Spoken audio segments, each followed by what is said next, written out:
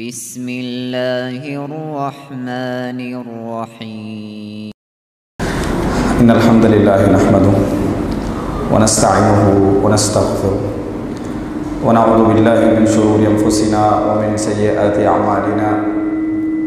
من يهده الله فلا مضل له ومن يضلل فلا هادي له.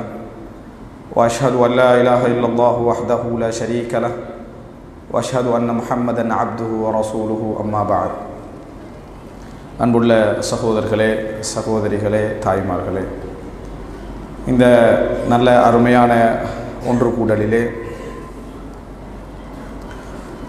நாம் எல்லாம் சில நல்ல கருத்துக்களை கேட்பதற்காக இங்கே ஒன்று குழுமி இருக்கிறோம் இந்த ஒன்று குழுமத்தின் மூலம் அல்லாஹு ரபுல் ஆலமீன் நல்ல செய்திகளை கேட்டவர்களாகவும் அதனூடாக எமது வாழ்க்கையில் ஒரு நினைவூட்டலாக எடுத்து அதில் நல்ல மாற்றங்களை கொண்டு வர வேண்டும் என்று ஆரம்பமாக பிரார்த்தித்துக் கொண்டு அன்புள்ள சகோதரர்களே நபிமார்களின் வாழ்வு தரும் படிப்பினை என்பதுதான் இன்றைய தலைப்பு. நபிமார்களுடைய வரலாறுகளை நாம் எல்லாம் படித்திருப்போம். எல்லாருடைய வரலாறையும் தனித்தனியாக இந்த உரையில் சொல்லப்படுவது கிடையாது. நபிமார்களுடைய வரலாற்றில் நாங்கள் எடுக்கக்கூடிய படிப்பினைகளுடைய பொதுவான ஒரு பட்டியலை நாம் என்ன செய்கிறோம்? இந்த உரையினூடாக நாம் பெற்றுக்கொள்ளப் போகிறோம். நாம் நிறைய நபிமார்களுடைய வரலாறுகளில் யூசுஃப் அலை இஸ்லாத்துடைய வரலாறு ஒரு அழகான வரலாறு நாம் படித்திருப்போம்.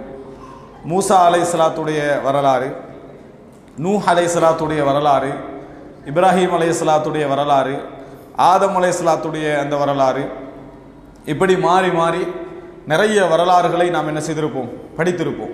முழுமையாக இல்லாது விட்டாலும் கூட ஓரளவாவது அதிலிருந்து நாம் என்ன செய்திருப்போம்? தகவல்களை தெரிந்திருப்போம். அதிலும் குறிப்பாக ரசூலுல்லாஹி சல்லாஹ் அலைஹி வஸல்லம் அவர்களுடைய வரலாறு என்றால் நிறையவே நாங்கள் தெரிந்து வைத்திருக்கிறோம். ஆனால் இந்த வரலாறுகளினூடாக நாம் பெற்ற படிப்பினைகள் என்ன? என்ன செய்திகளை நாம் இதனூடாக பெற்றுக்கொள்கிறோம்? இப்ப ரசூலுல்லாஹி ஸல்லல்லாஹு அலைஹி அவர்களுடைய வரலாற்றின் ஊடாக நாங்கள் ரசூ- இஸ்லாத்தை படிப்பதனூடாக சட்டங்களை படித்துக் கொள்கிறோம் கூடும் கூடாது ஹராம் ஹலால் இது அகைதா இது சுன்னா இது பிதா இது வாஜிப் இதெல்லாம் நம்ம படிச்சுக்கொள்கிறோம். இது அல்லாமல் அன்றாடம் எங்கள் வாழ்க்கையை ஒரு நெறிமுறைப்படுத்துகின்ற அமைப்பில் என்ன நாங்கள் பொதுவாக நபிமார்களுடைய வரலாற்றிலிருந்து பெற முடியும் பெற்றிருக்கிறோம். என்பதுதான் இந்த தலைப்பினூடாக சுருக்கமாக நாம் சொல்ல வரக்கூடிய செய்தி. இப்போ நபிமார்கள் அப்படின்னு நம்ம எடுத்துக்கொண்டோம் என்று சொன்னால் அல்லாஹு தாலா குரானிலே சொல்லி காட்டுகிறான் நாம் சொன்ன வரலாறுகளும் இருக்கின்றன உங்களுக்கு சொல்லாத நபிமார்களும் இருக்கிறார்கள். வரலாறு சொல்லாத நபிமார்களும் இருக்கிறார்கள். சொல்லப்பட்ட நபிமார்களில் குரானிலே கூடுதலாக ஒருவருடைய வரலாறு சொல்லப்பட்டது தான் அது எந்த நபி? யாரு? மூசா அலேஸ்லாம் குரானை தொடர்ந்து படிக்கிறவங்களுக்கு தெரியும். மூசா அலைஹிஸ்ஸலாம் மூசா அலைஹிஸ்ஸலாம் என்ற ஒரு சூறா இருக்குதா குரானில் என்ன இருக்குதா இல்லையா? குர்ஆன்ல உறுதியாக சொல்லணும். இப்போ இருக்குதா இல்லையா? அறிவண்டா என்னண்டா உறுதியாக சொல்கிறது இருந்தாலும் இருக்கும் இல்லாட்டியும் இருக்கும் என்ற மாதிரி என்னது? சொல்லக்கூடாது. உறுதியாக சொல்லணும் குரானில் அப்படி இல்லை. மூசான்ற ஒரு சூறா என்னது? குரானில் இல்லை. ஆனால் யூசுஃப் அலை இஸ்லாம்ண்டு யூசுப் என்ற ஒரு சூறா குரானில் என்ன செய்யுது இருக்குது. எனவே சூறா வந்தால் அதை பற்றி கூட பேசப்பட்டிருக்குதுன்றதோ சூறா வரலேண்டா அதை பற்றி கூட பேசப்படலேண்டோ அர்த்தம் அல்ல.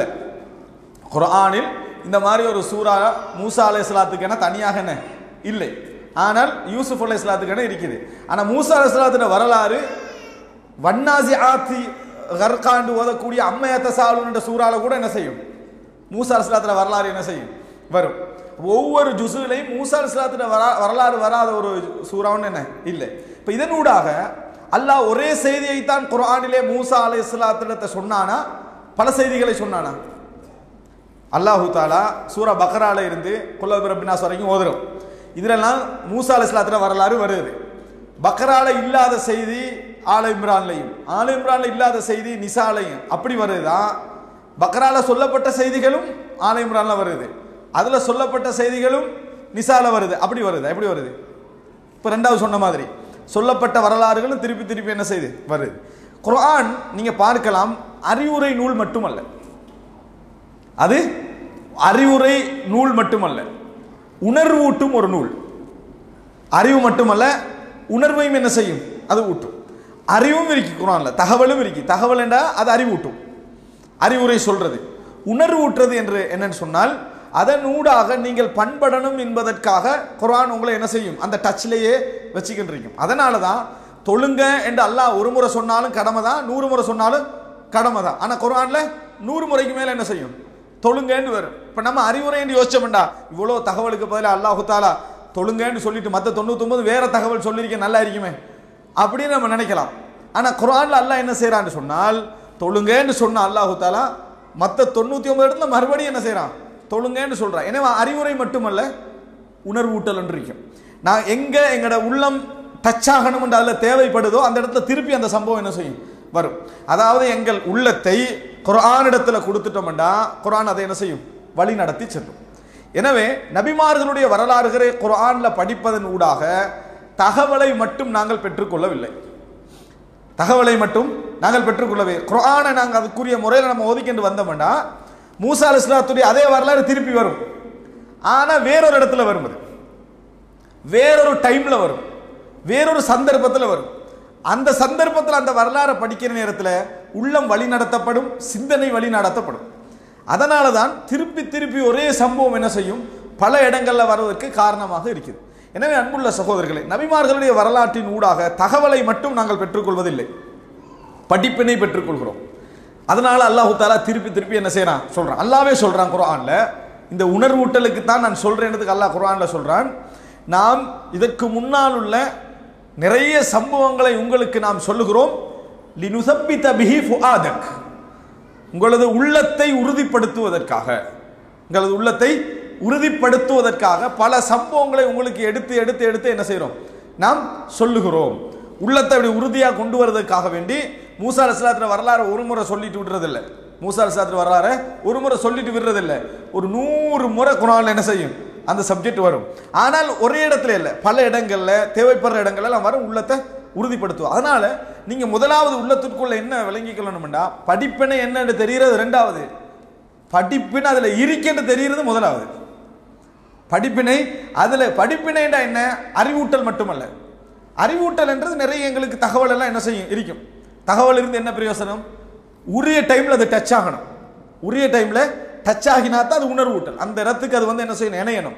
இணையணுமாக இருந்தால் குர்ஆன் எந்த முறையில் அதை அணுகுதோ அந்த முறையில் எங்களோட லைஃப்பில் அது என்ன செய்யும்? எஃபெக்ட் ஆகும். எனவே அன்புள்ள சகோதரர்களே நபிமார்களுடைய வரலாறுகள்ன்றது வெறும் சட்டங்களும் அல்லது அக்கீதாவுடைய விஷயங்களை எடுப்பதற்கு மட்டுமல்ல. டோட்டலாக எங்களை கைட் பண்ணிட்டு போவதற்காக அல்லாஹு தாலா சொல்லக்கூடிய செய்திகள் தான் நபிமார்களுடைய வரலாறுகள். இந்த அடிப்படையில் நீங்கள் பார்த்தீங்கன்னு சொன்னால் நான் ஒவ்வொன்றாக என்ன நம்ம முதலாவது எடுக்கலாம்? இரண்டாவதாக நபிமார்களுடைய வரலாற்றில் என்ன செய்தி எங்களுக்கு கிடைக்குது? மூன்றாவது என்ன?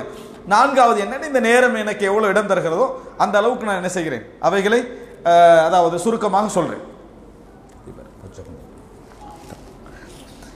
என்னென்னு சொன்னால் அன்புள்ள சகோதரர்களே அதாவது நபிமார்களுடைய இந்த வரலாறுகள் இதன் ஊடாக நமக்கு கிடைக்கக்கூடிய அந்த படிப்பினை முதலாவதாக நபிமார்களுடைய வரலாற்றில் நாம் கிடைத்துக் கொள்ளக்கூடிய எங்களுக்கு முதலாவது கிடைக்கக்கூடிய படிப்பினை என்ன? அப்படி என்று சொன்னால் நபிமார்கள் எல்லோரும் இந்த உலகத்திற்கு எதற்காக வந்தார்கள்? நபிமார்கள் மனிதர்களாக இருந்தார்கள் சாதாரண மக்களாக இருந்தார்கள். அவர்களை அல்லாஹு தாலா சீர்திருத்தவாதிகளாக செலக்ட் பண்ணுறான் இந்த உலகத்தில் மனிதர்களை அல்லாஹு தாலா செலக்ட் பண்ணுறான் இந்த உலகத்தில் மனிதர்களாகவே செலக்ட் பண்ணுறான் அல்லாஹு தாலா மனிதர்களாக ஏன் செலக்ட் பண்றான் என்று அதை அல்லாஹ் விளங்கப்படுத்துகிறான் அல்லாஹு தாலா அதை விளங்கப்படுத்துகிறார் இப்போ எங்களுக்கெல்லாம் மலக்குமார் ஜிப்ரீல் அலைசலாம் இப்போ இறங்கி வந்து இஸ்லாத்தை ஏற்றுக்கங்கன்னு சொன்னால் நன் முஸ்லீம்லாம் அவசரமாக என்ன செஞ்சிருவாங்க? இஸ்லாத்துக்கு வந்துருவாங்கன்ற ஒரு நினைவு இருக்குது. ஒரு ஒரு- ஒரு ஒரு உணர்வு இருக்குது. அப்படியே இல்லையா?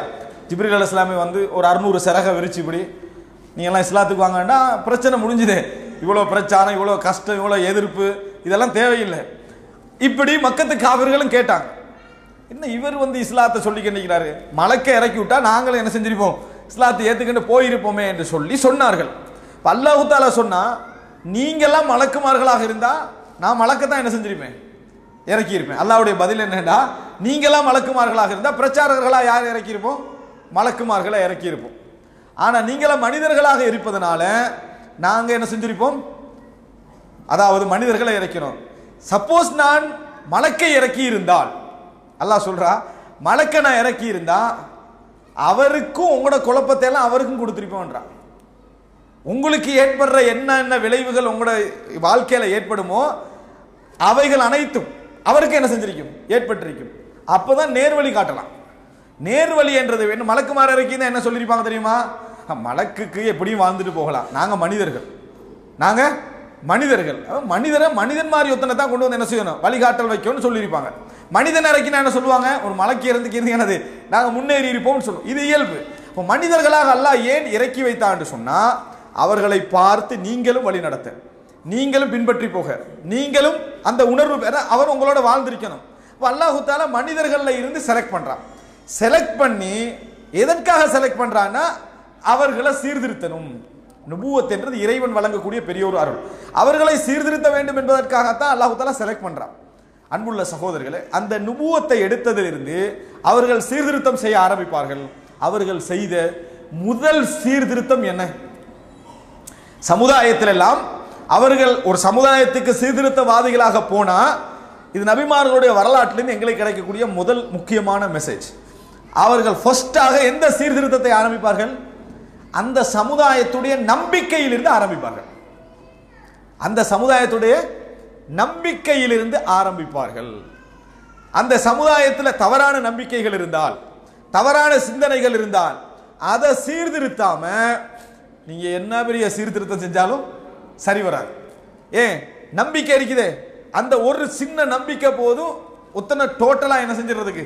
இல்லாமல்? நான் ஒரு சிம்பிளாக இதோட சம்மந்தப்படாத ஒரு உதாரணம் சொல்கிறேன் அதாவது ஒரு காலம். இப்போ வந்து நல்லா அதாவது மின் விளக்கெல்லாம் வந்த காலம் லைட்லாம் வந்த காலம் இப்போ பிரச்சனை இல்லை. ஒரு காலம் இருந்தது என்னென்னா இந்த சாராயம் காய்க்கிறவங்க கள்ள சாராயம் காய்க்கிறவங்க கல்- எல்லாம் ஒரு சாராயம் தான். ஆனால் கள்ள சாராயம்னு வந்தது வழங்கிட்டா அதாவது சாராயம் காய்க்கிறவங்க மற்ற மற்ற வேலை செய்கிறவங்க கொள்ளையடிக்கிறவன் எல்லாம் செய்கிறவனும் அன்றைக்கு வந்து போலீஸ்காரரை பாதுகாப்பு விஷயத்துக்கெல்லாம் விரட்டுறதுக்கு யூஸ் பண்ணுறது பேய்.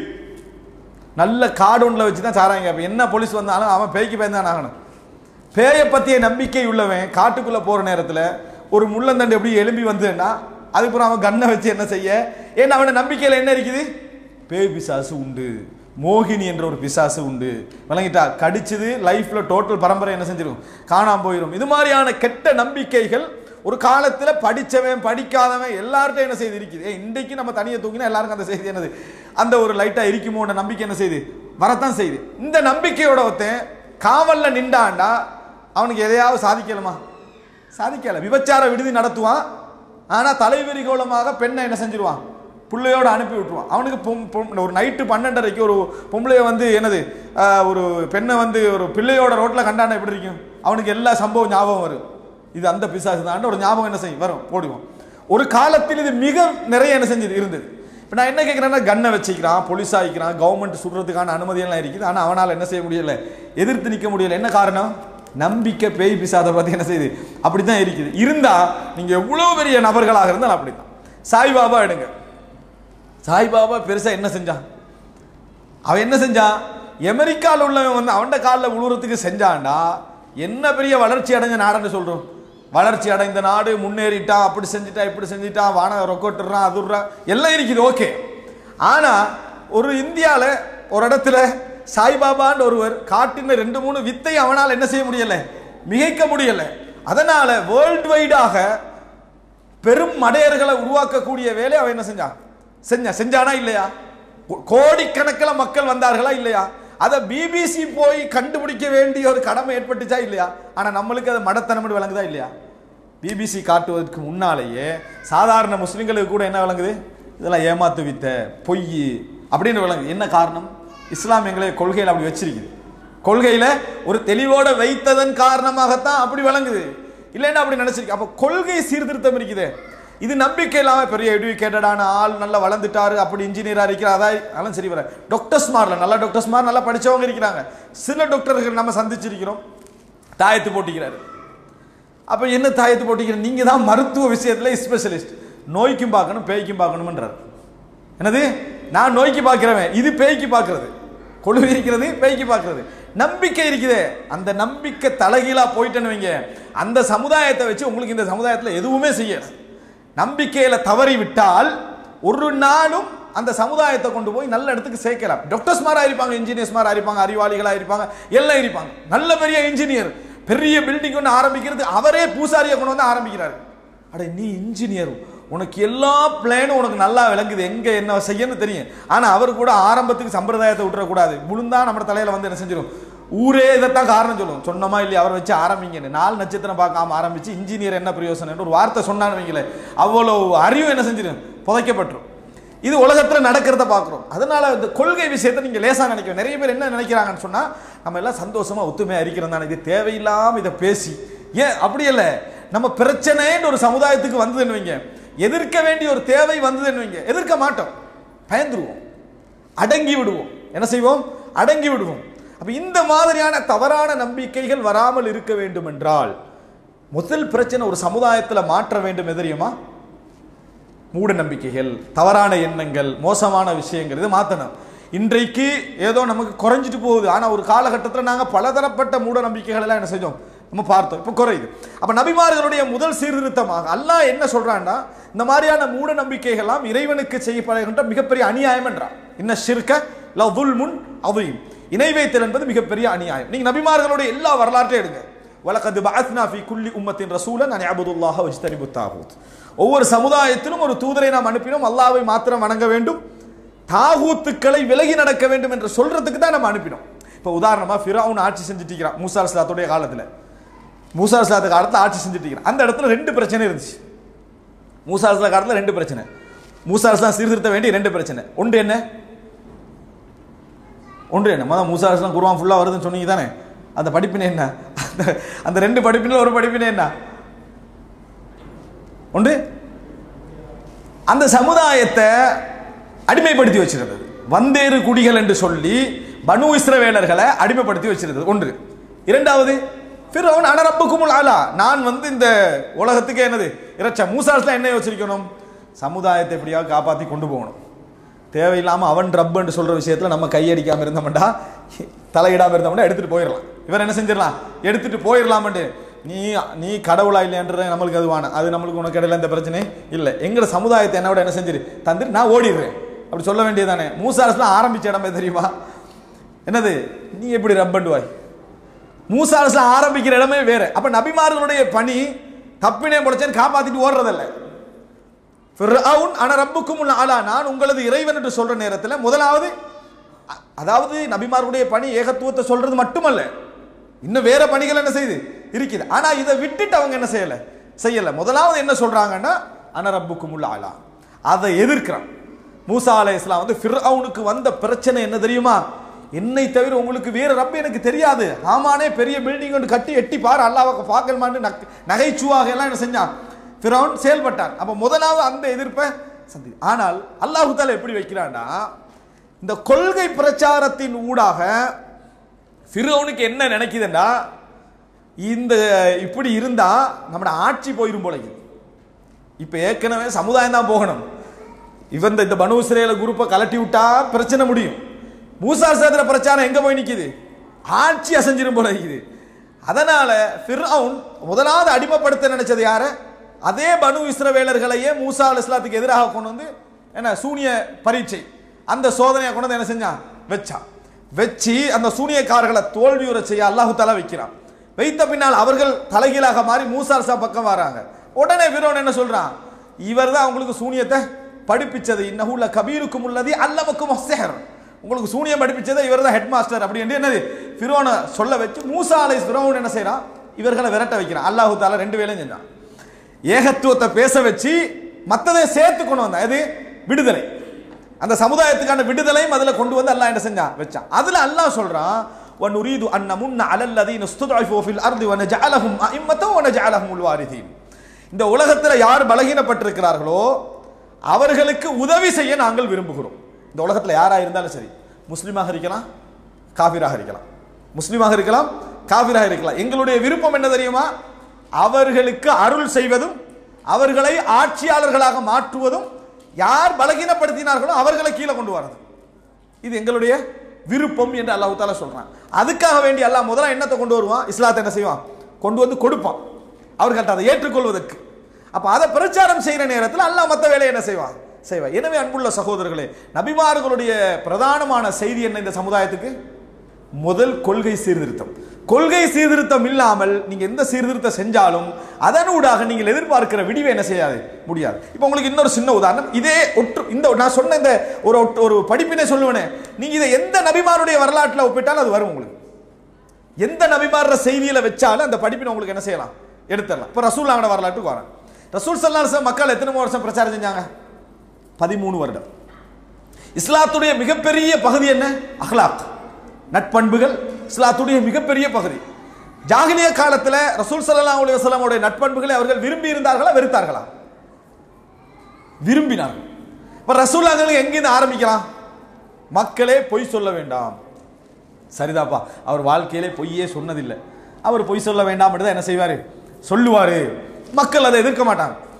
விபச்சாரம் செய்ய வேண்டாம் களவெடுக்க வேண்டாம் கொள்ளையடிக்க வேண்டாம் ஆரம்பிச்சிருந்தா ரசூல்லாங்களுக்கு ஆதரவு வந்திருக்குமா எதிர்ப்பு வந்திருக்குமா? நிச்சயமாக ஆதரவு வந்திருக்கு. சந்தேகமே இல்லை. ஆரம்பிச்சது ரசூல் நாங்கள் எங்கேருந்து அங்கிருந்து ஆரம்பிக்கல. ரசூல் சல்லாஸ் என்ன செய்கிறாங்கன்னா அப்படியே ஆரம்பிச்சா நிறைய பேர் வரத்தான் செய்வாங்க.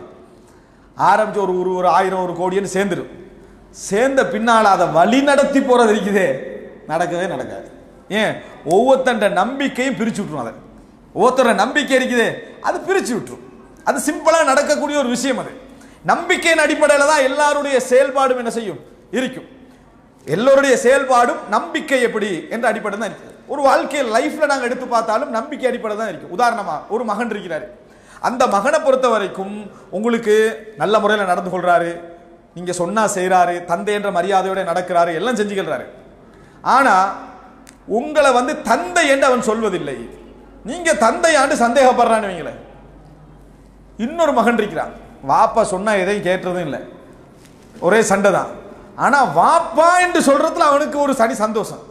உறுதியாகிறான் நீங்கள் என்றைக்காவது சொல்லுவீங்களா? என்னதான் இவனை நம்மளை தந்தை என்று ஏற்றுக்கொள்ளாது விட்டாலும் நல்லா நடக்கிறானா இல்லையா? இவன் தான்டா புள்ள அப்படி சொல்லுவீங்களா? அதை பார்க்க மாட்டீங்க. அவன் எவ்வளோதான் நல்லா நடந்தாலும் சரி நல்ல முறையில் கவனித்தாலும் சரி என்னைய தந்தேன்னு ஏற்றுக்கலாம எனக்கு இது தேவையே இல்லை. இதெல்லாம் தேவையே இல்லைன்னு தான் நீங்கள் சொல்ல போகிறீங்க அப்போ எங்கே அங்கே என்ன பார்க்குறீங்க? நம்பிக்கையை தான் பார்க்குறீங்க. அங்கே நம்பிக்கையை தான் நீங்கள் பார்க்குறீங்க எல்லா விஷயத்துலையும் அப்படி தான் நீங்கள் பார்ப்பீங்க எனவே நம்பிக்கை சரி செய்யாமல் அந்த லைஃப்பில் என்ன சேஞ்சஸ் நீங்கள் கொண்டு வந்தாலும் என்ன? அதில் பிரயோசனம் இல்லை. அப்போ இஸ்லாம் அதை சொல்லுது. ரசூல்லாங்க முதலாவது ஆரம்பிக்கிறாங்க. எதை சொன்னால் பிரச்சனை வரும்னு தெரியுதோ? அது இப்படி இருந்தும் ரசூல்லாங்க கொள்கையிலேருந்து என்ன செய்கிறாங்க ஆரம்பிக்கிறாங்க. அப்படி இருந்தா மட்டும்தான் ரசூல்லாங்க கொள்கையை வச்சு தான் ஆரம்பிச்சாங்கிறதுக்கு என்ன ஆதாரம்? மக்கா வெற்றி என்றா என்ன? மக்கா வெற்றி என்ற என்ன சொல்லுங்க மக்கா வெற்றி மக்கா வெற்றி என்றது தானே? மக்கா வெற்றி என்ன என்ன? இது என்ன கேள்விடா அது மக்கா வெற்றி என்ன என்ன கேட்குறேன் மக்கா வெற்றினா என்ன? மக்காக்குள்ள ரசூலாங்க போனது மக்கா வெற்றியா அதான் அதுக்கு முந்தி போயிட்டு வந்துட்டாங்களே. அதுக்கு முந்தின வருஷம் போனாங்களா இல்லையா? ஆட்சி கையில் வந்தது வெற்றியா? இல்லை. மக்கா வெற்றியை சரியாக புரிஞ்சுக்கொள்ளணும்னா முந்நூற்றறுபது சிலையை உடைச்சாங்க ரசூலாங்க பாருங்க. முந்நூற்றறுபது சிலையையும் உடைச்சி குல்ஜா அல் ஹக்கு வசஹல் பாத்தில். உண்மை வந்தது அசத்தியம் அழிந்தது. இன்னல் பாத்தில கான ஜஹூகா எப்போ சொல்கிறாங்க இது? சிலைகள் உடைக்கப்பட்டு காபத்துல்லா ஏகத்துவத்துக்கு வார நேரத்தில் சொல்றாங்க. அதுக்கு தான் என்ன சொல்றோம்? மக்கா வெற்றி. மக்கா வெற்றி. மதீனா வெற்றி என்று சொன்னதே இல்லை. ஏ மதீனா வெற்றி- வெற்றி கொள்ளப்படலையா? மதீனா ரசூலான கையில இயல்பா வந்துச்சு. ஆனா மதீனா வெற்றின்னு எங்கேயா படிச்சோமா? படிக்கல. மக்கா வெற்றின்னு தான் என்ன செய்கிறோம் படிக்கிறோம். மக்கா வெற்றி என்று சொன்னதுக்கான பின்னணி அதுதான். ஏகத்துவம் அங்கே என்ன செய்து? நிலைநாட்டப்படுது. எனவே அன்புள்ள சகோதரர்களே நபிமார்களுடைய வரலாற்றிலிருந்து முதல் படிப்பினை. கொள்கை மாற்றத்தின் ஊடாகத்தான் சமூக மாற்றம் என்ன செய்யலாம்? வரும். கொள்கை மாற்றம் இல்லாமலும் சமூக மாற்றம் கொண்டு வரலாம். கொண்டு வந்தீங்கன்னா இந்த பெரியார் கொண்டு வந்த மாற்றம் மாதிரி தலைகீழா மாறிடும். பெரியார் ஒரு மாற்றம் கொண்டு வந்தார் திராவிடர் திராவிடர் என்று கத்தி ஒரு மாற்றம் கொண்டு வந்தார். இப்ப அதுல உருவாகினவன் என்ன சொல்றான்? இந்தால் திராவிடன் என்று பேசினதே ஒரு வேறு நோக்கத்துல தான் என்ன செஞ்சுக்கிறான்? பேசிக்கிறான் பேசுறாங்களா இல்லையா இப்ப? சரியா? தமிழர்களை ஏய்த்து பிழைப்பதற்கும் தமிழர்களை மிதிக்கிறதுக்கு தான் திராவிடன் என்ன செஞ்சுக்கிறான்? பேசிக்கிறான். யார் பேசுறான் அவரால் யார் உருவாக்கப்பட்ட முக்க முன்னணியில் இருக்க நம்ம நினைக்கிறோம்? அவங்க பேசிட்டு அவங்க பேசத்தான் செய்கிறாங்க ஏன்? கொள்கை மாற்றம் இல்லாமல் நீங்க எந்த மாற்றம் கொண்டு வந்தாலும் தலைகீழ ரிவர்ஸ் ஆகிரும் தலைகீழ என்ன செஞ்சிடும் ரிவர்ஸ் ஆகிரும் இது ஃபர்ஸ்ட் மெசேஜ் நபிமார்களுடைய வரலாற்றில் நம்ம கிடைக்கக்கூடிய அல்லாவே சொல்றது.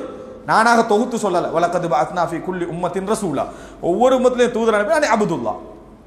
அல்லாவை வணங்காத ஒரு ஒரு என்னது ஒரு ஒரு மாற்றம் மாற்றம் அல்ல. இறைவனை இறைவனாக ஏற்றுக்கொள்ளாத ஒரு மாற்றம் மாற்றம் அல்ல. இரண்டாவது சிந்தனை.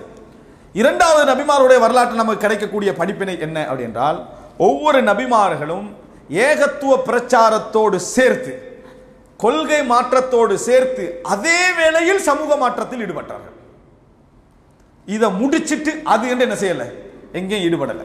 இதை முடிச்சுட்டு நான் அதை என்னது? ஒருத்தன் கொள்ளையடிச்சு களவு எடுத்துக்கிட்டிருக்கிறான் முதலாவது ஏகத்துவத்தை முடிப்போம். அதுக்கப்புறம் என்ன செய்வோம்? களவை தடுப்போம்னு வரலை. ரெண்டையும் ஒரு சேர ரசூல் சல்லா அலி வசல்லம் ஏனைய நபிமார்களும் என்ன செய்தார்கள்?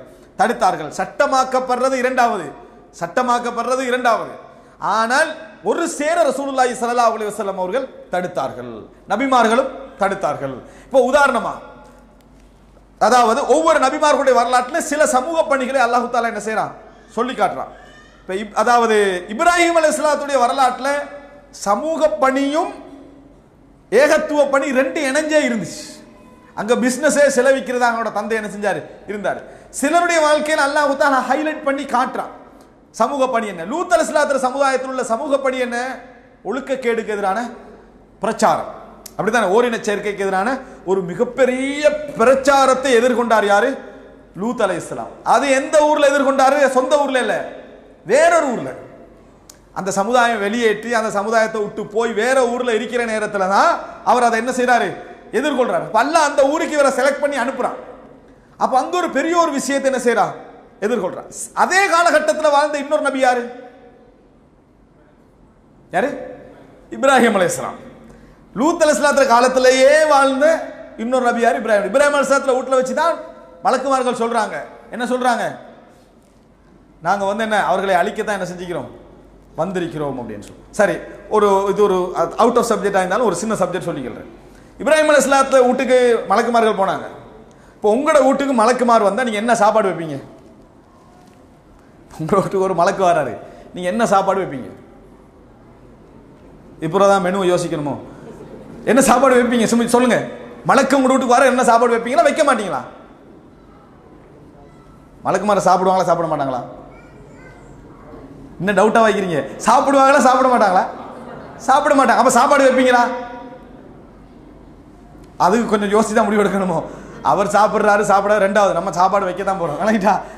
சாப்பாடு வைக்க மாட்டோம். நம்ம மனிதர்கள் வைக்க மாட்டோம் பொதுவாக ஆனால் இது நமக்கு தெரியுது. இப்ராஹிம் அலைஹிஸ்ஸலாம் என்ன செஞ்சார்?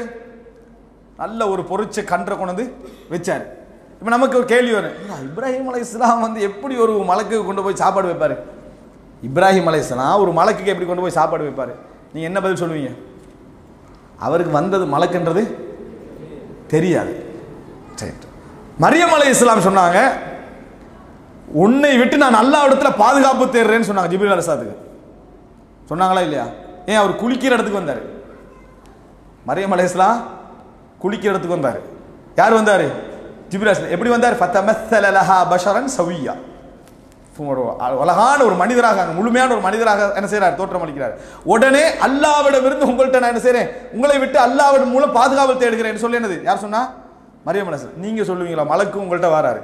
நீங்க சொல்லுவீங்களா? அல்லாஹ் நான் அல்லாஹ் கொண்டு உங்களை விட்டு பாதுகாப்பு தேர் மலக்கு தான் சான்ஸ் அப்பா வந்திருக்கிறது. அப்படித்தான் நீங்க நினைப்பீங்க. அப்ப ஏன் நீங்க பாதுகாப்பு தேடினாங்க மரியம் அலைஹிஸ்ஸலாம் வந்தது மலக்குன்றது தெரியாது. மூசா அலைஹிஸ்ஸலாம் மலக்குக்கு அரைஞ்சாரா இல்லையா? நீங்க மலக்குக்கு அரைவீங்களா? ஏன் அரைஞ்சிங்க வந்தது மலக்குன்றது தெரியாட்டி நம்ம என்ன செய்வோம்? அறையத்தான் செய்வோம். புறவுதான் நமக்கு மலக்குன்ற விஷயம் தெரிஞ்சா சாப்பாடு வச்சது பிழைதான். அவுது பில்லாஹி மின்கு உன்னை விட்டு அல்லா இடத்துல பாதுகாப்பு தேர நினைச்சது பிழைதான். அரைஞ்சது பிழைதான்.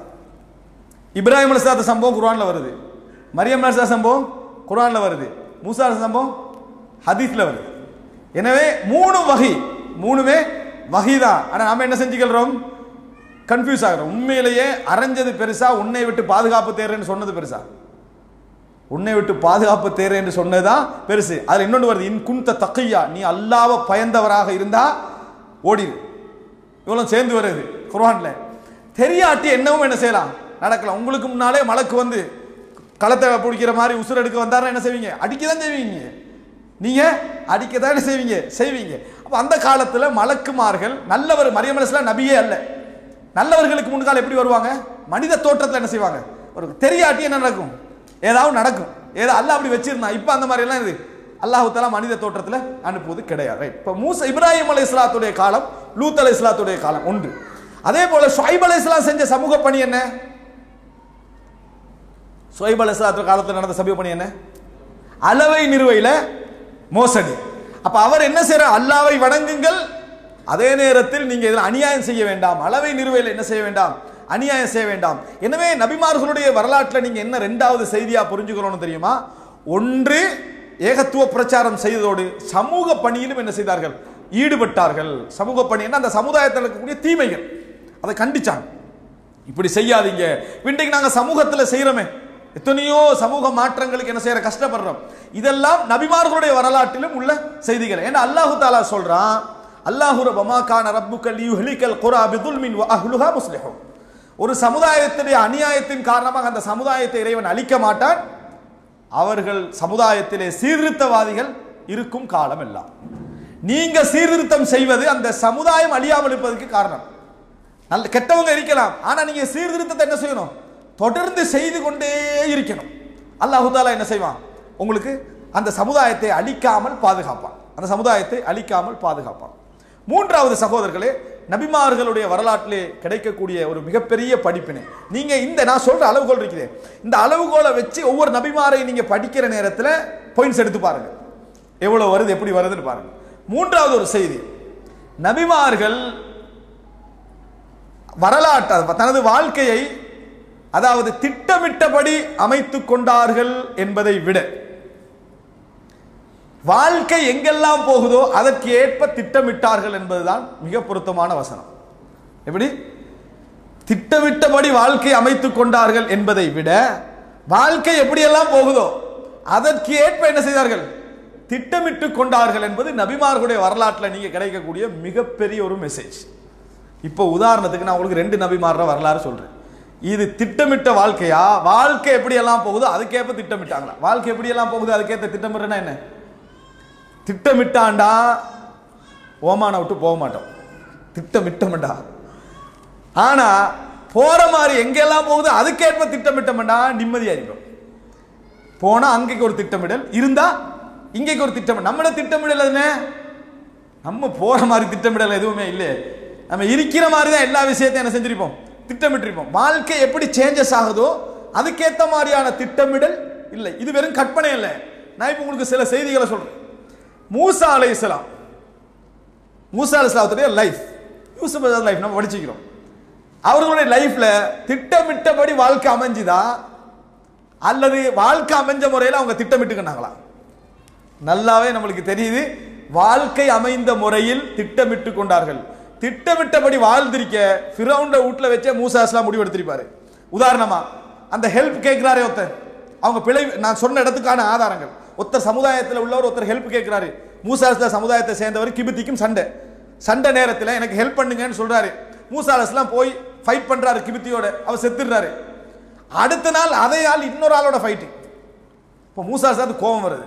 மறுபடியும் உதவி கேட்குறாரு. அவர் சொல்கிறாரு நீ பெரிய ஒரு சண்டை கட் சண்டை பிடிச்சவன் வந்து சண்டையிலே மூழ்கினவன் போல இருக்குது என்று சொல்லிக்கண்டு அவருக்கு அடிக்க போகலை.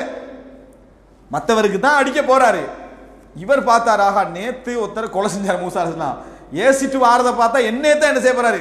கொலை செய்ய போறாரு போல ஆ நீ நேத்து கொண்ட மாதிரி இன்றைக்கு கொல்ல போறீங்களோ அப்படின்னு அவரே சத்தம் போட்டார். இப்போ செய்தி யாரால பரவுது? சோசியல் சேவை செய்ய போய் அவனால தான் பரவுது. அந்த சமுதாயத்துக்கு சேவை செஞ்சு அவனாலேயே என்ன செய்யுது மூசா அஸ்லாத்த பேர் கெட்டு போகுது. இல்லை இப்போ மூசா அம்ச திட்டமிட்டு இருந்தீங்க என்ன செஞ்சிருப்பாங்க? பணம் ஒரு நாலு பேர் செத்தாலும் பரவாயில்லை. நம்ம போகக்கூடாது. நம்ம இருக்கிறது சிறுவண்ட மாளிகையில். இன்னும் கொஞ்சம் படிமுறை படிமுறையாக போய் உரிய இடத்துக்கு வந்த பிறகு மற்ற விஷயங்கள் என்ன செய்வோம்? பாப்போம்டா இருக்கிற இடத்துக்கு ஏற்ப திட்டமிட்டார்னு அர்த்தம். மூசாரத்தில் அதெல்லாம் பார்க்கல. இது அநியாயம் இப்போ எதிர்க்கணும் இவ்வளோதான் இது அநியாயம் இதை எதிர்க்கணும். எதிர்த்தாரு. அடுத்து என்ன நடந்தது? மதியன். எங்கே போக வேண்டி வந்துச்சு? மதியனுக்கு போக வேண்டி வந்துச்சு. எங்கே கல்யாணம் முடிச்சாரு? சொந்த ஊரில் வந்து தான் திருமணம் முடிப்பேன் திருப்பி ஈஜிப்டுக்கு வந்தாரா? மதியனில் கல்யாணமா? மதியனில் திருமணம். திருமணமே எப்படி நடக்குது தெரியுமா? உன்னை பாதுகாக்கிறேன். உங்களை நான் பாதுகாக்கிறேன். பாதுகாத்தா நீ எட்டு வருஷம் வேலை செய்யலாம் பத்து வருஷமும் வேலை செய்யலாம். மகர். எட்டு வருஷம் வேலை செய்யலாம் பத்து வருஷம் வேலை செய்யலாம். எது இருந்தாலும் ஓகே. அப்படி இருந்தால் நான் உங்களுக்கு திருமணம் முடிச்சு தரேன். ஓகேன்னு கேட்டார் மூசாவர். இப்போ திட்டமிடலை நீங்கள் வைங்களேன். நீங்க எக்ஸப்ட் பண்ணுவீங்களா? பாருங்க நான் அங்கே போய் சாகுறேன். உங்களோட பாதுகாப்பில் எனக்கு என்னது? தேவையில்லை என்ன போயிரு? திட்டமிடல் இருந்தா. மூசா மதிய மதியனில் வாழ்க்கை வந்துச்சா? மதியனில் நான் என்ன செய்கிறேன் உண்மையிலேயே மூசா அலைஹிஸ்ஸலாத்துக்கு அல்லாஹ் பணியை செலக்ட் பண்ணது மதியன்லயா எகிப்திலயா? எகிப்தில் ஈஜிப்டில். ஆனால் ஈஜிப்டை விட்டு மதியனில் திருமணம் முடிச்சு பத்து வருஷம் இருக்கிறதுக்கு சம்ம சம்மதிக்கிறாருன்னா அப்போ பணி என்னத்துக்கு ஆகிறது பத்து வருஷத்துக்கு. அதை பற்றி யோசிச்சாங்களா? இல்லை. எனவே நீ கற்பனை பண்ண வேண்டிய விஷயம் வாழ்க்கை எங்கே இருக்குதோ அங்கே திட்டமிட்டுக்கணும் வாழ்க்கை எங்க அமைதோ அங்க திட்டமிட்டார். அல்லாஹு தாலா பத்து வருடத்துக்கு பிறகு திருமணம் முடிச்சு மறுபடியும் அந்த ஊருக்கு போறதுக்கு தேவையை அல்லாஹு தாலா வைக்கிறான். போகிற வழியில் அல்லாஹ் நபித்துவத்தை என்ன செய்கிறான் கொடுத்து மூசா அலஸ்லாம் அந்த ஈஜிப்டுக்கு போகிறாங்க ஈஜிப்டு போய் எவ்வளோ காலம் இருந்தாங்க? மறுபடி ஓட்டம். ஈஜிப்டை விட்டு மறுபடி என்ன? சிரியா பகுதிக்கு என்னது? ஓட வேண்டிய ஒரு நிலைமை வந்துச்சு. இப்போ யோசிச்சு பாருங்க. நதியில் ஸ்டார்ட் ஆகி மாளிகைக்கு போய் ஊர்லேருந்து விறகப்பட்டு மதியனுக்கு போய் திருப்பி அங்கே கல்யாணம் முடிச்சு திருப்பி திருப்பி ஈஜிப்டுக்கு போய் மறுபடி சிரியாவுக்கு ஓடி இதுதான் லைஃப் இது திட்டமிட்டபடி மூசா அலைஹிஸ்ஸலாம் தனது லைஃபை அமைத்துக் கொண்டார்கள் என்பதை விட தனது லைஃப் எங்கெல்லாம் இறைவன் கதிரில் வச்சிக்கிறானோ அது கேட்பவர்கள் என்ன செய்தார்கள்? திட்டமிட்டு கொண்டார்கள் என்பதில் நிறைய மன நிம்மதி இருக்குது. நிறைய மன நிம்மதி இருக்கு. நமக்கு ஒரு விஷயம் பழகிவிட்டால் மனிதனுக்கு அதை விட்டு விடுதலை பெறுவது மிச்சம் கஷ்டம். ஒன்றை பழகிட்டான்னு அதை திருப்பி மறு ரிவர்ஸில் விடுதலை பெறுவது மிகவும் கஷ்டம். நபிமார்கள வரலாற்றில் அப்படி இருக்கலை. யூசுப் அலைஹிஸ்ஸலாத்துடைய வரலாறு. எங்க ஆரம்பிச்சது? சிரியாவில் ஆரம்பிச்சது. அதுக்கு பிறகு கிணத்துல. ஒரு நாள் என்னது காட்டுல கிணத்துல ஆரம்பிச்சது. கிண- கிணத்துக்கு ஆகிட்டார் அதுக்கு பிறகு ஈஜிப்டில் ஒரு நல்ல ஒரு வளர்ப்பு மகனாக. அதுக்கு பிறகு சிறைச்சாலை. அங்கே சிறைச்சாலை. திருப்பி அமைச்சர். அந்த பிரதேசத்தில் என்ன செய்யறாரு அமைச்சர் ஆகிறார். மூசா அலைஹிஸ்ஸலாம் முந்தினவரா யூசுப் அலைஹிஸ்ஸலாம் முந்தினவரா? என்னப்பா சொல்லுங்க. மூசா அலைஹிஸ்ஸலாம் முந்தினவரா? யூசுப் அலைஹிஸ்ஸலாம் முந்தினவரா? ஆ? யூசுப் அலைஹிஸ்ஸலாம் முந்தினவர். இதை ஞாபகம் வச்சுக்கல நல்ல வழி என்னன்னா ஈஜிப்டில் உள்ள மக்கள் எகிப்துக்கு வருவதற்கு யார் காரணமாகினாங்க? யூசுப் அலைஹிஸ்ஸலாம் ஏன்? அவர் கடத்தப்பட்டு ஈஜிப்டு கொண்டு வரப்படுறாரு. அங்க அவர் அமைச்சராகிறாரு. அவர் அமைச்சராக இருக்கும் பின்னால் உள்ள எல்லாரையும் என்னது? கொண்டு வந்து அங்க மக்களை என்ன செய்கிறாங்க சேர்ந்து அப்படியே வளர்ந்துடுறாங்க. அதுக்கு பின்னால் கொஞ்ச நாளில் அப்படி என்ன வந்தேறு குடிகள் அடிமையாக்கிட்டாங்க. ஈஜிப்ட் உள்ளவங்க. அடிமையாக்கின பின்னால அதை விடுதலை பெறதுக்கு யார் வராரு? மூசா அலைஹிஸ்ஸலாம் வராரு. இதை ஞாபகம் வச்சுட்டீங்கன்னா யூசுப் அலைஹிஸ்ஸலாம் மூசா அலைஹிஸ்ஸலாம் பிரச்சனை. தாவூத் அலைஹிஸ்ஸலாம் சுலைமான் மூசா மூசாத்துக்கு முந்தியா பிந்தியா? இது என்னடா இது கேள்வி பதில் நிகழ்ச்சி மாதிரி இருக்குது. என்ன பதில் அதுக்கு? யூசுப் அல்- அதாவது தாவூத் அலை இஸ்லாம் சுலைமான் அலை இஸ்லாம் பிந்தியவர்கள். சரியா? மூசா அலை இஸ்லாம் அவங்கள கொண்டு வந்து ஈஜிப்டில் சேர்த்த பின்னால தான் தாவூத் அலை இஸ்லாம் சுலைமான் அலை இஸ்லாம் எல்லாம் என்ன செய்கிறாங்க உருவாகுறாங்க. அதுக்கு பின்னால தான் அங்கே வைத்தல் மக்தீஸ் அது இதெல்லாம் உருவாகுதே. இந்த வரலாறுலாம் அதுக்கு பின்னால் என்ன செய்யுது உருவாகக்கூடிய வரலாறுகள். புரிஞ்சுதா? அதை அந்த இடத்துக்கு பைத் அதாவது பலஸ்தீன் என்ற பூமியை புனித பூமி அவர்கள் கொண்டு வந்து சேர்த்ததற்கு பின்னால் நடந்த சம்பவங்கள். தாவூத் சுலைமான் எல்லாம் யூதர்கள் தோண்டக்கூடிய அந்த காலகட்டத்தில் என்னது? வரக்கூடிய சம்பவங்கள். இப்போ இதெல்லாம் கால அடிப்படையில் உள்ள ரசூலாளுக்கு முந்தின நபி யாரு? ஈசா அலைஹிஸ்ஸலாம். ஈசா அலைஹிஸ்ஸலாம். இப்போ என்ன என்று சொன்னால் இந்த வரலாற்றில் நீங்க மூணாவது நமக்கு தெரிஞ்சு கொள்ள வேண்டிய விஷயம் திட்டமிடல் என்பது யூசுப் அலிஸ்லாத்த வரலாற்றில் வாழ்க்கை இப்படித்தான் அவனோட தந்தை திட்டமிட்டார்கள் உண்டோ இப்போ எங்கட பிள்ளைகளுக்கு திட்டமிடல் எங்களுக்கு அறுபது வயசு வரைக்கும் நிறைய பேருக்கு ரெடி பேர் தனக்கு திட்டமிட்டான் பிள்ளைக்கு திட்டமிட்டு வச்சுக்கிறான் மகன் பிறந்த உடனேயே சில இப்போ புதுசாக ஒரு டெக்னிக் என்னென்னா வயிற்றில் இருக்கக்குள்ளே மெட்ஸ் படிப்பிக்கணும்னு படிப்பிச்சிருக்கிறாங்க கொஞ்சம் பேர். பாவம். வணங்கிட்டா? எப்படி? வயிற்றில் இருக்கிற நேரத்திலேயே மெட்ஸ் படிப்பிக்கணும்னு பாப்பா உம்மா எல்லாரும் சேர்ந்து இறங்கி அது புதிய டெக்னிக்காக என்னது? அல்லாஹு தாலா சொல்கிறான் அஹ்ரஜக்கும் இம்பு தூணி உம்மஹாத்திக்கும் லா தாலமுன செய்யா உங்களை தாயுடைய வயிற்றிலிருந்து வெளியாக்குற நேரத்தில் உங்களுக்கு எதுவுமே தெரியாதுன்றான் இவங்க மெட்ஸ் படித்தவர்களாக என்னது? ஈசா அலை இஸ்லாம் பிறக்கிற மாதிரி பிறக்கணும்னு எதிர்பார்த்தா? இப்படி ஒரு எதிர்பார்ப்பு நடத்திட்டீங்க அது யாரோ சொன்னது அப்படியே உள்வாங்கி எந்த விதமான விஞ்ஞானம் விஞ்ஞானம் ஒன்றும் பார்க்கறதுல இல்லை. நிரூபணமா இல்லையா? எதுவுமே பார்க்கறது இல்லை. நல்ல தகவலாகி யூதர்கள் இப்படி தான் படிப்பிக்கிறாங்கன்னு யாரோ ஒருத்தர் கதை அளந்தது அப்படியே நம்பி என்ன? அப்படியே செஞ்சுட்டு போயிட்டு இருக்கிறது இதான் நம்மளுக்கு நடக்குது. அன்புள்ள சகோதரர்கள் இப்படி திட்டமிடல் அவ்வளோ பெருசாக நடக்குது. நடந்தது மட்டுமல்ல புள்ள எத்தனை எத்தனாம் ஆண்டுல எங்கே போகணும்? வச்சுக்கிற திட்டங்கள் பத்து வயசு பன்னெண்டு பதிமூணு பதினஞ்சு பதினெட்டு இருபது இருபத்தஞ்சு முப்பதில் தான் கல்யாணம் முடிக்கிறோம். அதுக்கு முந்தி கல்யாணத்தை பற்றி பேசக்கூடாது இல்லைங்களா அதெல்லாம் ஒரு ஒரு செட்டப்பில் கொண்டு வந்து இந்த மாதிரி நடக்கக்கூடிய ஒரு நிலைமை என்ன செய்கிறோம்? பார்க்கிறோம். அப்போ அன்புள்ள சகோதரர்களை இந்த மாதிரி ஒரு நிலை எங்கள் சமுதாயத்துக்கு எந்த அடிப்படையில் வருது என்று பார்த்தீங்கன்னா லைஃப் டோட்டல் லைஃப் திட்டமிடல். எதிர்பார்ப்பு இருப்பது பிழை இல்லை. எதிர்பார்ப்பு ஒன்று இருப்பது பிழை இல்லை. ஆனால் மனிதன் என்பவன் மரணத்துக்கு என்றைக்கும் பக்கத்தில் உள்ளவன். அவனுடைய திட்டமிடல் எப்படி இருக்கணும் சொன்னால் அல்லாஹு ரப்புல் ஆலமீன் எனக்கென்று ஒரு லைஃப் எழுதுகிறான். எனக்கென்று நிச்சயமாக ஒரு லைஃப் எழுதிக்கிறான் நான் திட்டமிட்டபடி என் வாழ்க்கை அமைய போவது கிடையாது. அல்லாஹு ஒரு திட்டத்தை எனக்கு என்ன செஞ்சுக்கிறான்? எழுதிக்கிறான் அதுக்கேற்ற மாதிரி தான் போகணும். ஆனால் ஒரு விஷயத்தில் உறுதியாக இருக்கணும். நான் ஹராம் என்ற ஒரு இடத்துக்கு போகாம ஹலாலான முறையில் என் குடும்பம் சந்தோஷமாக இருப்பதற்கு நான் உழைப்பேன். ஒன்று எந்த இடத்திலையும் இறை திருப்தியை இழக்க மாட்டேன். இந்த ரெண்டையும் நீங்க வச்சுக்கண்டு அப்போ உங்களோட லைஃபுக்கு நான் இப்படி செய்யணும் இப்படி செய்யணும்னு நீங்க திட்டமிட்டுக்கிட்டீங்கன்னா அது பிழை இல்லை. நீங்க எப்படி திட்டமிட்டுக்கிறீங்கன்னா லைஃபையே திட்டமிட்டுக்கிறீங்க கதிரை நீங்க தான் எழுதுறீங்க மாதிரி இப்போ நிறைய பேருடைய திட்டம் இருக்கு. அதாவது லைஃப் நம்ம எங்கேயும் இருக்கலாம். நாளைக்கு அங்கே மாறும் அல்லது இங்கே மாறி எங்கேயும் மாறலாம். ஆனால் நம்ம ரெண்டு விஷயத்தை இருக்கணும்? இந்த பிள்ளை இப்படி இப்படி இப்படி என்ன செய்யணும்? உருவாகணும் ஒரு கற்பனை இருக்கணும். அதை எங்கே எங்கே எனக்கு போனால் செட் ஆகிக்கணும் அங்கே செஞ்சுக்கிறது. முடியாது விட்டு அதுக்கு வேற என்னது? மாற்று வழி பார்த்துக்கிறது. இதெல்லாம் மனதில் இருக்கணும். ஆனால் புடிவாதமாக நான் வந்து இறை திருப்திக்கு மாற்றமாக இருக்குது. ஆனால் நான் போட்ட திட்டம் இங்கே தானே இருக்குது. இப்போ என்ன செய்யறது ஹராம் என்றாலும் பரவாயில்ல இங்கே தான் என்ன செய்யணும். வாழணும். இப்படி என்ன செய்யக்கூடாது? இருக்கக்கூடாது. அதே போல இறை திருப்திக்கு மாற்றமாக இருக்க நம்மளுக்கு தெரியுது. தெரிஞ்சு அது நமக்கு முக்கியம் இல்லை. நம்ம போட்ட திட்டத்தில் இது அகப்படுது. வேற வழியே என்னது? இப்படி இருக்கக்கூடாது.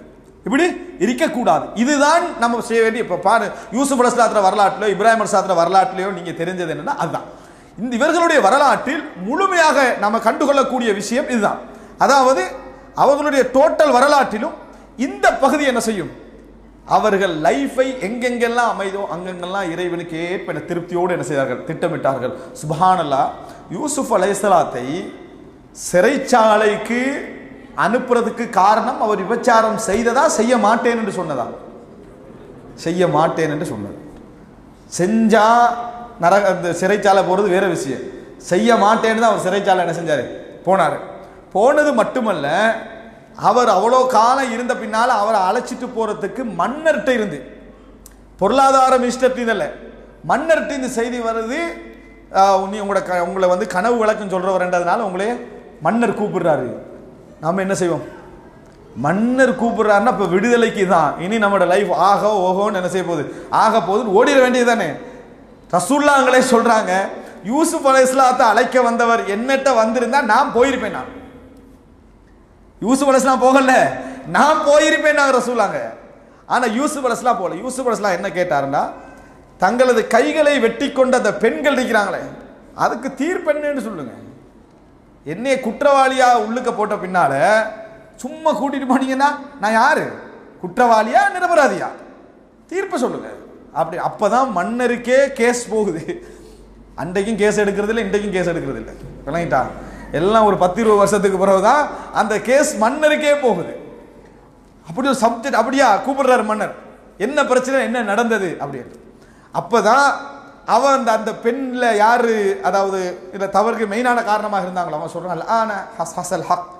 இப்போ உண்மை வெளியாகிட்டு நான் சொல்லிடுறேன். நான் தான் தவறு இழைத்தேன். நான் தான் அவரை வலுக்கட்டாயமாக என்ன செஞ்சேன்? தவறுக்கு கூப்பிட்டேன் அப்படி என்று சொல்லி பகிரங்கமாக ஒத்துக்கொண்டோன்னே யூசுப் அலைஸ்லாம் அங்கே தான் யூசுப் அலைஸ்லாம் இருக்கிறார். நம்ம என்ன செஞ்சோம்? அந்த மாதிரி இப்போ பார்த்தீங்க தானே எல்லாம் என்னையே குத்தவாளி என்று காட்ட வேண்டியது. அப்படின்னு நம்ம உடனே பெருமை வந்து நம்ம பெரிய தூய்மையால மாறிடுவோம். அங்கே யூசுப் அலைஸ்லாம் ஒரு பணிவாக நடந்து கொண்டார். அவர் என்ன சொல்கிறாரு ஒமா உபர்ரி நஃப்சி நான் என்னை தூய்மைப்படுத்தவில்லை. இன்ன நஃப்சல அம்மாரத்தும் பிஸ்ஸு. உள்ளம் என்பது எப்பொழுதும் கெட்ட செயலுக்கு ஏவிக்கொண்டுதான் இருக்கும். தான் யூசுப் அலைஸ்லாம் இப்படி முடியுமா? பத்து வருஷம் ஜெயிலேருந்து வந்துட்டு நான் வந்து தூய்மையானவன் நிரூபிக்க இவ்வளோ சந்தர்ப்பம் கிடைச்சா அதுக்கு பிறகு நம்மளோட தெனாவிட்டு ஒரு வருஷத்துக்காவது இருக்கும். விளங்கிட்டு அதுக்கு பிறகுதான் நம்மளை விட்டு போகும் அது. ஆனால் யூசுப் அலைஹிஸ்ஸலாம் அடுத்த செகண்ட் என்ன செய்கிறாங்க அதை வந்து நான் வந்து என்னை தூய்மைப்படுத்தலை. ஆனால் நான் குற்றவாளி அல்ல. நான் குற்றவாளி அல்ல அப்படின்ட்டு. இது யூசுப் அலஸ்லாம் இரண்டாவது முறையும் செய்கிறார் எங்க? தன்னைய வந்து திருடர்கள் என்று சொல்லி குற்றம் சாட்டுற அளவுக்கு யூசுப் அலஸ்லாத்திர சகோதரர்கள் மாறுறாங்க. அதுக்கு பின்னாலையும் அவர் என்ன செய்றாரு? உங்களை நான் மன்னித்து விடுகிறேன். யூசுப் அலிஸ்லாம் சொல்றாரு என்ன சைத்தான் எங்களை பிரிச்சுட்டான். அப்படித்தான் சொன்னார் யூசுப் அலிஸ்லாம் அன்புள்ள சகோதரர்களே நபிமார்களுடைய வரலாற்றில் நம்ம பார்க்குற ஒரு மிகப்பெரிய படிப்பினை இரு- மூன்றாவது ஒரு படிப்பினை அவர்கள் லைஃப்பை வந்து என்ன செஞ்சாங்க? தங்களது இடங்களுக்கு ஏற்ப திட்டமிட்டு கொண்டார்களே தவிர அவர்கள் ஒரு நாள் என்ன செய்யலை? அவர்களாக திட்டமிட்டு லைஃப்பை நெருக்கிக்கல சுருக்கி கொள்ள- இதனால பெரிய பிரச்சனை இருக்குது. இதனால பெரிய பிரச்சனை இருக்குது. இதான் உதாரணத்துக்கு ஒரு ரெண்டு மூணு பிரச்சனைகளை சொல்றேன். சிலர் திருமணம் முடிக்கணும். சாலிஹான ஒரு பெண்ணை திருமணம் முடிக்கணும்னு ஒரு முடிவில் இருப்பாங்க. ஆனா ஏதோ பல நோக்கங்களின் காரணமாக பொருளாதார சிந்தனை அவற்றை நுழைஞ்சிருக்கும். இவர் என்ன செய்வார் தெரியுமா? நல்ல சாலிகான முறையில் பெண் அமைஞ்சாலும் கூட இவர் போட்ட பிளான் ஃபொரின் பேட்டு வந்து தானே திருமணம் முடிக்கிறோன்ற ஒரு பிளான் வச்சிருப்பாரு. அதனால லைஃபை தட்டி போடுறது. தட்டி போட்டு தட்டி எல்லாம் வாழ்க்கையில் அமைஞ்சிக்கு அல்லாஹ் சொன்ன மாதிரியான சூழலாம் அமைஞ்சிக்கு பிளான் வேறு. விளங்கிட்டா? அதனால் சிலருடைய வாழ்க்கை அழிஞ்சும் போய். சிலருடைய வாழ்க்கை அழிந்து நாசமாக என்ன செஞ்சுக்குது போயிருக்குது ரசூலுல்லாஹி ஸல்லல்லாஹு அலைஹி வஸல்லம் வார்த்தை யா மஅஷர ஷபாப் மன் இஸ்ததா மின்குமுல் பாஅத ஃபல்யதஸவ்வஜ் உங்களை யாருக்கு திருமணத்துக்குரிய ஆற்றல் இருக்குதோ அவர்கள் திருமணம் முடித்துக் கொள்ளட்டும். இது. ஆனால் நமக்கு ஆற்றல் இருந்தாலும் நமக்கு என்னது? இந்த சைக்காலஜி இருப்பதனால உடனே என்ன செய்யறது? திட்டமிடல் அப்படின்ற திட்டமிடல் கூடாதெல்லாம் இல்லை. ஆனால் நமக்கு மிதமிஞ்சிய திட்டமிடல் இருக்குது. கதிரை தாண்டி ஒரு திட்டமிட நம்ம பண்ணுறோம் பாருங்க. இது பிள்ளை இது நபிமாரோட வாழ்க்கை நீ காணவே மாட்டீங்க. எல்லா நபிமாரும் ஊரை விட்டு உருவேத்திக்கிறான். எல்லா நபிமாரும் விரட்டப்பட்டிருக்கிறார்கள். அப்படியான வர இப்ராஹிம் அலிஸ்லாம் லூத் அலைஹிஸ்ஸலாம் ரசூல் சல்லா அலிஸ்லாம் அவங்க எந்த நபிமார் எடுத்துக்கனாலும் ஏதோ ஒரு தலைகீழான லைஃப் சிஸ்டத்தை பார்த்தீங்கன்னா என்னது? நம்ம சொல்ற அதே இல்லை. நம்ம சொல்ற அந்த பகுதியே காண மாட்டீங்க. ஆனால் ஒரு திருப்தியான லைஃப் வாழ்ந்திருப்பாங்க. இறுதி நிலை ஒரு ஒரு பலமான நிலையாக என்ன செஞ்சிருக்கும் அவங்களுக்கு? இருந்திருக்கும். இதுதான் மிக முக்கியமாக நாங்கள் நபிமாவுடைய வரலாற்றை தெரிந்து கொண்ட ஒரு இன்னொரு முக்கிய செய்தி. நான்காவது அன்புள்ள சகோதரர்களை இந்த நேரத்துக்கு இது இறுதியாக என்ன செய்வோம்? அமைத்துக் கொள்வோம். என்ன நபிமாருடைய வாழ்க்கையில் நம்ம காணக்கூடிய ஒரு அற்புதமான ஒரு படிப்பினை என்னவென்று சொன்னால் இறைவனுக்கும் அவர்களுக்கும் இடையே இருந்த தவக்குள் என்ற ஒரு அருமையான தொடர்பு. என்ன தொடர்பு? தவக்குள் என்று சொல்லப்படக்கூடிய அருமையான தொடர்பு. இந்த தவக்குலை நம்ம சரியாக புரிஞ்சதே இல்லை. அது தவக்குளோட தலைப்புக்குள்ளே போயிடும் வழங்கிட்டா ஆனால் ஒரு அருமையான ஒரு தொடர்பு நபிமாவோட வரலாற்றை நீங்கள் காணுவீங்க. எதுல? இந்த விஷயத்தில். ஒரு சின்ன உதாரணம். யூசுப் இஸ்ஸலாம் மார்க்கெட்டில் விற்கப்படுறாரு. மார்க்கெட்டில் விற்கப்படுறாரு. விற்கப்படுற நேரத்தில் எப்படி விற்றாங்க தெரியுமா? ஓ ஷரவுஹு பிதமனின் பக்ஸின் தராஹிம மதூத வகானு ஃபிஹி மினஸ் ஜாஹிதி அதாவது யூசுப் அலைஹிஸ்ஸலாம ஒரு ரேட்டு வச்சு விற்றா நல்ல பெரிய ஹை ரேட்டுக்கு விற்கலாம் அவ்வளோ அழகானவர். அவரை கூட எப்படி விற்றாங்க தெரியுமா? எப்படியா தப்பிடணும் எடுத்துக்காக வேண்டி ஒரு பத்து பதினஞ்சு திருகத்தை கொடுத்து முடிச்சுட்டு போயிட்டான். அல்லாஹு தாலா சொல்கிறான் அவர்களை அற்ப கிரயத்துக்கு வித்தாங்கன்றான். வித்தாலும் ஒரு விற்கிறதே அவர் ஒரு ஆயிரம் திருகத்துக்காக விற்கலாம் பத்து திருகம் பதினஞ்சு திருகத்தை முடிச்சுட்டு போயிட்டாங்க யூசுப் சாத் ரேட் என்ன? மார்க்கெட் ரேட் பத்து திருகம். அவர் அல்லாட்ட யாரு? நபி. அல்லாஹ்விடத்தில் யார்? அவர் நபி. அவர் மார்க்கெட்டில் பார்க்குறாரு எனக்கு பத்து திருகம் தான் இதை வச்சு அவர் என்றைக்காவது கன்ஃபியூஸ் ஆகி கொண்டாரா என்னடா நம்மளே பத்து திருகத்துக்கு ஆக்கிட்டாங்களே. என்ன லைஃப்டா இது? நம்ம செத்துருவோம் நிறைய பேர் எங்களை இருக்கிறாங்க எப்படி தெரியுமா? யாராவது ஒரு வார்த்தை சொல்லிட்டாங்கன்னு வைங்களேன் கௌரவ அதாவது நம்ம வாழ்க்கையிலே தவறே செய்யாதவர் மாதிரியும் தூய்மையே அப்படி தூய்மை இலக்கண மாதிரி வாழ்ந்த மாதிரியும் துட்டிச்சு புழுவா துடிச்சு போயிடுறாங்க. அப்படி இப்படி நின்றுவான் சுபஹானல்லா ரசூல்லாஹி ஸல்லல்லாஹு அலி வஸல்லம் அவர்கள் உண்மையாளர் நேர்மையாளர். மக்களுக்கு உதவியானவர். ரசூலாங்களுக்கு என்ன சொல்றாங்க தெரியுமா? கத்தாப் பொய்யர் மஜ்னூன் பைத்தியகாரன் சாஹிர் சூனியக்காரன் மஸ்ஹூர் சூனியம் இழைக்கப்பட்டவர் காஹின் குறிகாரன். ரசூலாங்க துட்டிச்சு போனாங்க. ரசூல் ஸல்லல்லாஹு அவர்கள் அஹ்லாக்க பத்தி சொன்ன நேரத்தில் ரசூலாங்க துடிச்சு போனாங்க. அல்லாஹ் வசனம் இறக்கினா என்ன தெரியுமா? நபியே அவர்கள் உண்மை பொய்ப்படுத்தவில்லை. அல்லாஹ் அந்த அந்த அந்த ரசூல்லாங்கிட்ட பட்ட அந்த சுமையை அல்லாஹ் அப்படி திருப்புவான்.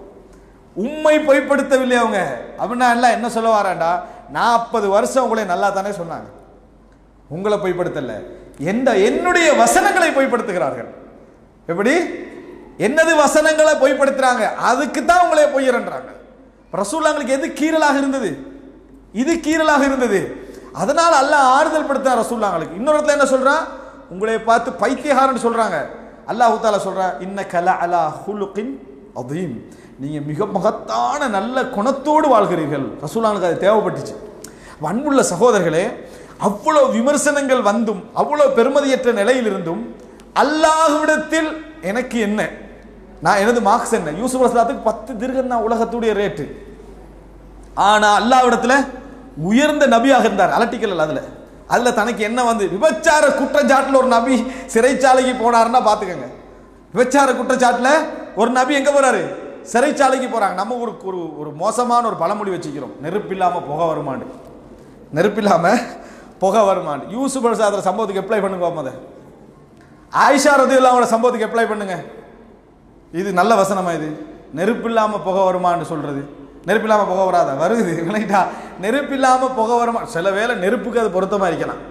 நெருப்புக்கு அது பொருத்தமாக இருக்கலாம். நெருப்பு இல்லாமல் புகை வருமான்னு சொன்னால் புகையை நீ வந்து எ- எதோட சம்மந்தப்படுத்துகிற இது தவறான ஒரு இந்த காகிதம் நம்ம மனசில் பதிஞ்சாச்சா? எதுக்கு எடுத்தாலும் நெருப்பு இல்லாமல் புகை வருமான்றது. எல்லாத்துக்கும் நெருப்பு இல்லைன்னா விஷயம் இல்லாமையா பேசுகிறாங்க இதெல்லாம் என்னது? இஸ்லாமிய ஒரு அடிப்படை இல்லை. புகைஞ்சாலும் நெருப்பு இல்லைன்னு நம்ப வேண்டிய ஒரு சமுதாயம் இது. எங்களுக்கு நெருப்பு விளங்கினா தான் நெருப்பு. புகை விளங்கினா அது புகை தான் அவ்வளோதான் அதோட நிறுத்திக்கலாம் நெருப்பு இல்லாமல் புகை வருமா? நெருப்பு எங்கிருந்து வந்தது? இதெல்லாம் தேவையில்லை. இப்போ யூசுப் அலிஸ்லாம் அந்த குற்றச்சாட்டில் உள்ளுக்கு போகிறாங்க ஆனால் உலக பெருமை. அதாவது இதுக்கெல்லாம் காரணம் என்ன தெரியுமா? ரப்போடு ஒரு பெரிய ராபிதா. ஒரு தொடர்பு. இறைவனோடு ஒரு பெரிய தொடர்பு இருந்தது. அப்படி மட்டும் இல்லைன்னு வைங்களே பழி வாங்கி இருப்பார்கள் நபிமார்கள் ஒரு ஒரு ஸ்டேட்டஸ் அடைஞ்சாங்களே கடைசி காலத்தில். பழி வாங்குற ஸ்டேட்டஸா இல்லை ரசூல் சல்லா அலுவலம் மக்கால இறுதி உரை. முன்னால் இருந்தவங்கள யார் யார்? அபூ தாலிப இஸ்லாத்துக்கு வராத வராதேன்னு ஆக்கினவங்களும் முன்னால் இருந்தாங்களா இல்லையா? இஸ்லாத்துக்கு வந்துட்டாங்க அவங்க. அபூ தாலிப் கடைசி நேரத்தில் இஸ்லாத்துக்கு வரத்துக்கு அவருடைய உள்ளத்தில் இருந்திருக்கும். ஆனால் அவரை இஸ்லாத்துக்கு வராம ஆக்கி நீங்கள் கூட மூதாதையர் கூட மார்க்கத்தை விட்டா மௌத்தா போறீங்க அப்படியெல்லாம் சொல்லி அவரை மௌத்தாக்கிட்டு இவங்க இஸ்லாத்துக்கு வந்துட்டாங்க. யாரு? அப்படி சொன்னதுல ஒரு அரவாசி பேர் இஸ்லாத்துக்கு வந்துட்டாங்க. வந்தாங்களா இல்லையா?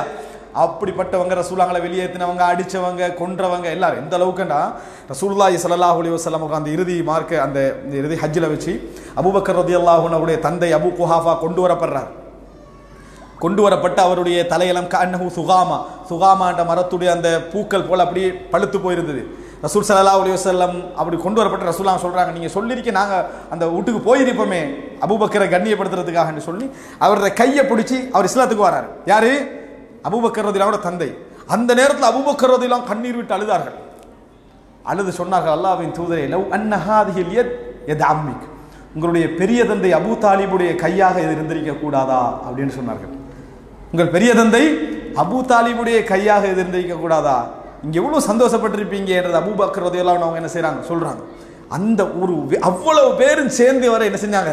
இஸ்லாத்துக்கு இல்லாமாக்கினாங்க ரசூலா வேதனை வேதனைப்படுறாங்க. அவ்வளோ வேதனைகளுக்கு மத்தியில் அந்த மக்களுக்கு எல்லாருக்கும் முன்கால ரசூல்லாங்க என்ன கேட்டாங்க தெரியுமா? ஹல் பல்லகத். எல்லா செய்தியை நான் உங்களுக்கு எத்தி வச்சுட்டேனான்னு தான் ரசூல் சல்லா அலுவலம் கேட்டார்களே தவிர அடிக்கு மத்தியில் என்னை ஊர்விரட்டம் செய்ததுக்கு மத்தியில் என்னை கொலை அச்சுறுத்தல் செய்ததுக்கு மத்தியில் என்னை அவமானப்படுத்தியதுக்கு மத்தியில் என் மனைவிக்கு விபச்சார குற்றச்சாட்டு சொன்னதுக்கு மத்தியில் என் பொருளாதாரத்தை சூறையாடுறதுக்கு மத்தியில் எல்லாம் தாண்டி இறுதி நேரம் ரசூலாங்க என்ன கேட்டாங்க? உங்களுக்கு எல்லாம் நான் சொல்லிட்டேனான்னு தான் ரசூலாம் கேட்டாங்க. எல்லாம் சொல்லிட்டேனா? எத்தி வச்சுட்டேனா? ஆமான்னு சொன்னாங்க. அல்லாஹும் ஷஹத் யாரெல்லாம் நீ சாட்சியாக இருந்து கொள்? எனது வேலை என்ன செஞ்சது முடியும்? பழி வாங்கினாங்களா? பழி வாங்கல. இதான் நபிமார்களுடைய வரலாற்றில் இறுதி தருணம். எங்கேயும் பாருங்க யூசுப் அலை இஸ்லாம் யாராக இருக்கலாம்? யாருமே என்ன செய்யலை? பழி வாங்குதல் இடத்துக்கு என்ன செய்யலை? போகவே இல்லை என்பதை நாம் என்ன செய்கிறோம்? பார்க்கிறோம். பழி வாங்குதல் இல்லை என்பதை நம்ம போகின்ற இடத்துக்கு நாம் என்ன செய்கிறோம்? அவங்களுடைய முடிவில் நம்ம பார்க்கிறோம். எனவே அன்புள்ள சகோதரர்களே ஒரு அருமையான ஒரு சிறப்பான ஒரு நிலையை நாம் என்ன செய்கிறோம்? நபிமாவுடைய வரலாற்றிலே பார்க்கிறோம். அதில் குறிப்பாக நான் இப்போ நாலாவது சொல்கிற செய்தி அர்ராபிதா அல்லது பைனஹு பைனல்லா பைனஹும் பைனல்லா அவர்களுக்கும் இறைவனுக்கும் மத்தியில் இருந்த பெரியோரு தவக்குள் என்ற அருமையான தொடர்பு. எதுவாக இருந்தாலும் உடனே இறைவனை நாடக்கூடிய அந்த மனோநிலை இருக்குது. நீங்க இறைவனை நெருங்க நெருங்க நெருங்க நெருங்க இந்த உலகத்துடைய காரணிகள் எல்லாம் இறைவன் காரணிகளுக்காக படைத்தவைகளை தவிர உண்மையில் அவைகள் காரணிகள் அல்ல என்று அந்த வெளிச்சம் என்ன செய்யும்? எங்களுக்கு சிறந்த முறையில் என்ன செய்யும்? விளங்க ஆரம்பிக்கும். அப்படிப்பட்ட ஒரு திறமையான ஒரு நம்பிக்கையான ஒரு சூழ்நிலையை நபிமார்களுடைய வரலாற்றில் நான் ஒவ்வொரு உதாரணங்களாக சொல்லலாம். அந்த அளவுக்கு ஒரு சிறந்த ஒரு தொடர்பை நபிமாவுடைய வரலாற்றில் என்ன செய்கிறோம் பார்க்கிறோம். நாலு செய்திகள் சொல்லியிருக்கிறேன். ஒன்று ஏகத்துவ சீர்திருத்தம் தான் நபிமார்களுடைய ஆரம்ப சீர்திருத்தம். அதோடு சேர்த்து சமூக சீர்திருத்தங்களை நபிமார்கள் என்ன செய்தார்கள்? செய்தார்கள். அவர்கள் திட்டமிட்டபடி வாழ்க்கையை அமைத்துக் கொள்ளவில்லை. வாழ்க்கை எங்கெல்லாம் அமைகிறதோ அதற்கேற்ப தமது வாழ்க்கைகளை என்ன செய்கிறார்கள் அட்ஜஸ்ட் பண்ணி திட்டமிட்டு கொண்டார்கள். அவர்களுக்கும் இறைவனுக்கு மத்தியில் ஒரு மிகப்பெரிய அழகான தவக்குள் என்கின்ற ஒரு தொடர்பு என்ன செய்தது இருந்தது. அது வேற எவர்களுடைய வரலாற்றில் நீங்கள் என்ன செய்ய முடியாது. அந்த அளவு அழகாக காண முடியாது. அல்லாஹு தாலா நாம் பேசியவைகளிலும் கேட்டவைகளிலும் இருந்து எமக்கு படிப்பினை தந்து அதற்கேற்ப எமது வாழ்க்கை வாழ்க்கைகளை மாற்றிக்கொள்வதற்கான வாய்ப்பை தந்தரும் புரிவானாக. عندي والعلم عند الله وأقول قولي هذا